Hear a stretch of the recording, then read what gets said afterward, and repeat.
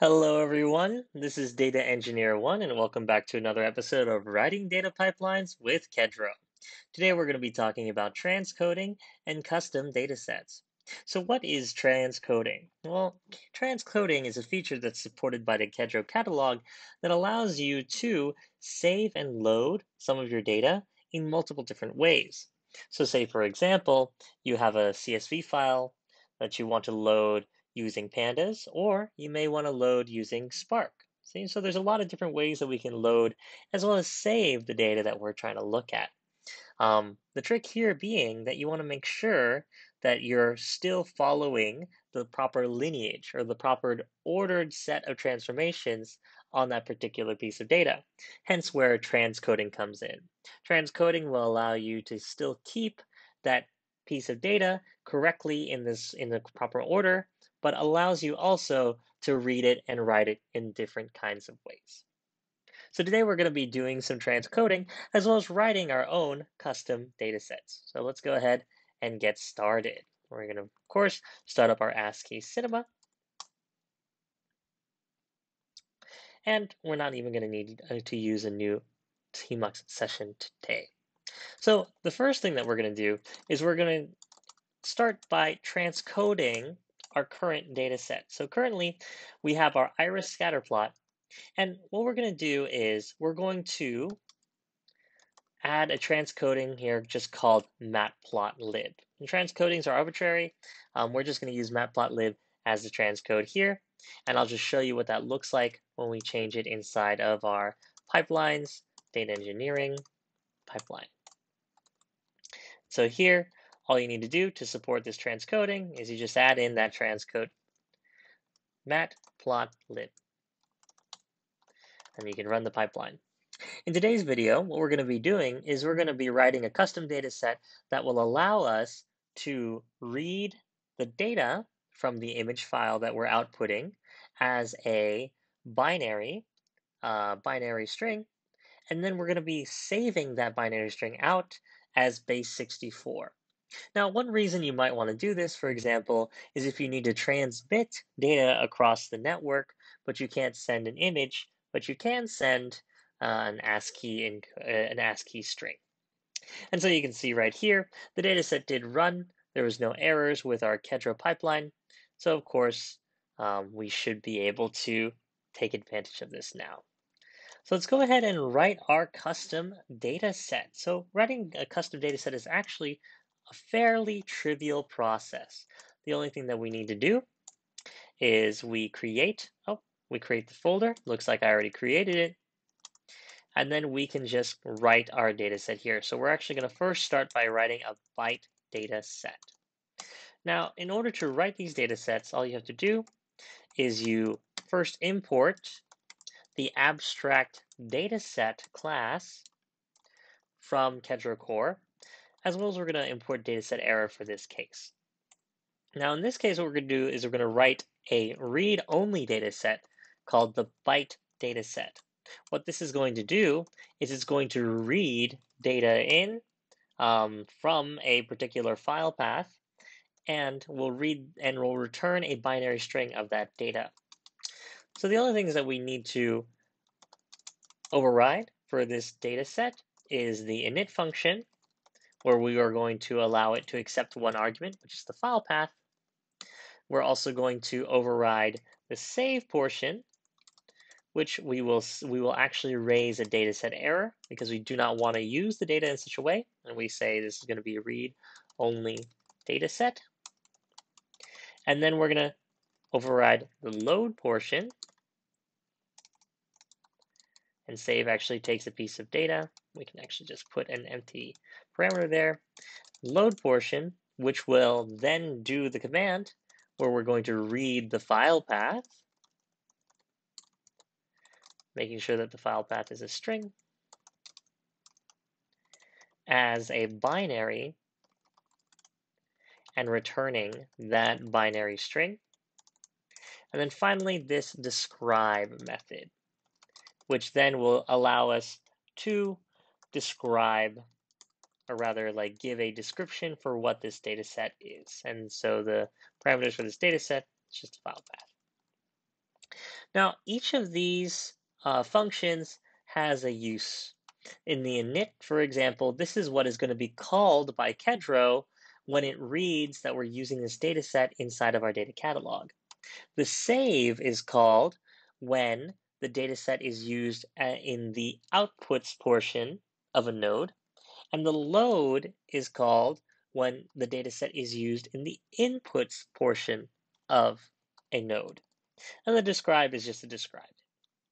So in this case, for this binary data set, I think we're actually done here. What we're going to do now is we're actually going to do another data set here. And we're going to do not a byte data set, but a base 64 data set. And this will allow us to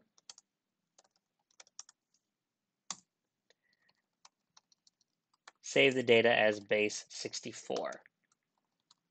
For this one, we're, we're going to import our base 64 code, b64 encode from Python. We're going to have the same file path, but then for the load, we're actually going to raise an error. We're only going to use this for a write-only data set. And we're going to save by opening the file path and writing to that file path. And what are we writing? We are writing the binary data that is coming in here, and we're base 64 encoding that binary data. Of course, we're going to decode that binary data as UTF-8. And that's because B64 encode will return a binary string. With the encoded binary data, we're just going to decode it and save that as UTF-8. When we try to load, we're going to raise an error. It's a write-only data set. We're going to be describing the data set as well. Now, we have both our byte data set and our base 64 data sets available to us. Let's go ahead and add them to our catalog so we can use them. Now this is where the power of that transcoding comes in. We have the iris scatter plot in matplotlib form, but now we can also have the scatter plot in byte form. Now we all have all we have to do to use our custom data set is we refer to it in the path, which is introduction kedro.io.byte data set byte data set. And we're actually going to copy the same file path. This way, we're going to read the, the, the, the PNG file as a byte string. Finally, we're going to add this other this other scatter plot base 64. There's no transcoding here. We're just going to use the straight up catalog name and we're going to use base 64 data set dot base 64 data set. And the file path here is going to be a new one. It's going to be iris 64.txt.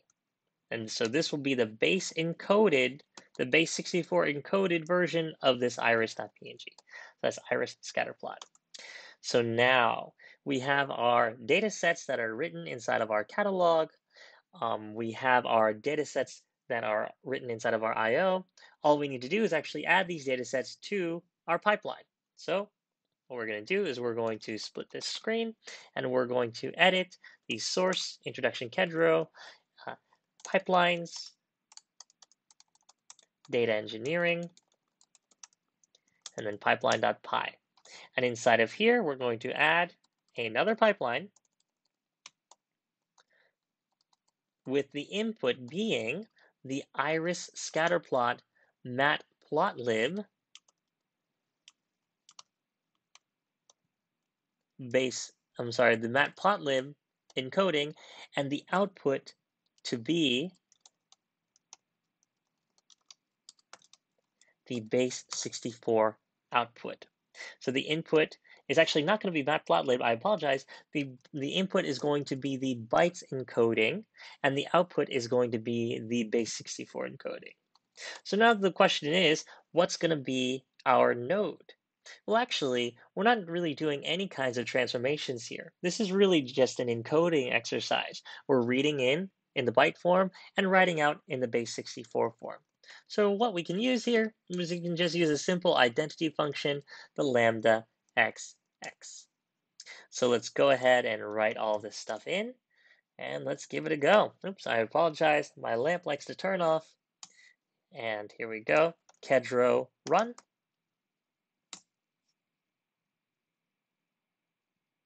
Let's see if we have any errors.